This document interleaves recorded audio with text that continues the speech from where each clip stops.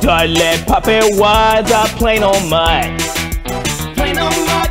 He's scrappy, digging, then he chew his butt. Chew his butt. But when Megan got too rough, he went to work for Tough. And now he's doing secret agent stuff.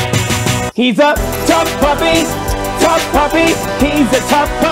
A dog that sticks his nose right where he knows his crooks will be. He's a T.U.F.F. Puppy, T.U.F.F. Puppy.